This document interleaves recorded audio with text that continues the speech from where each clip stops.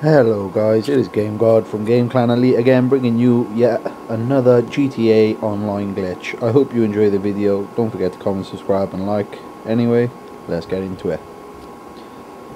Basically guys, you want to come to the exact location I'm showing on the map right now and as soon as you get here, it is just simple, you want to follow everything I do on my screen. just going to show you this a little bit longer just so you know where it is. And basically, when you get down here, it's like the side alley by the 400k apartment. You just want to climb up that wall, climb up this wall, and go around here.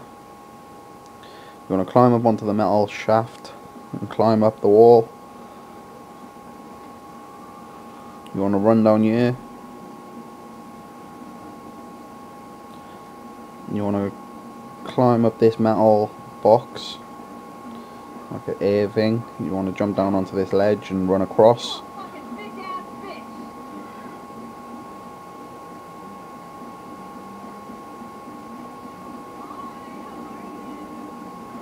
As soon as you get here, you want to climb up on top of this. And then you want to literally, you want to come to about here.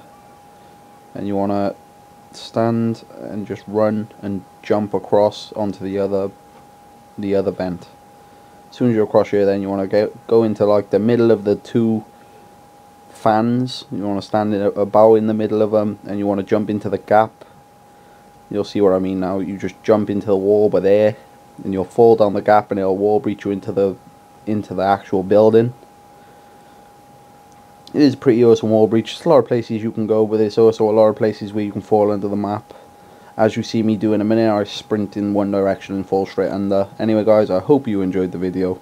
Don't forget to comment subscribe and like. I'm out. Nice one guys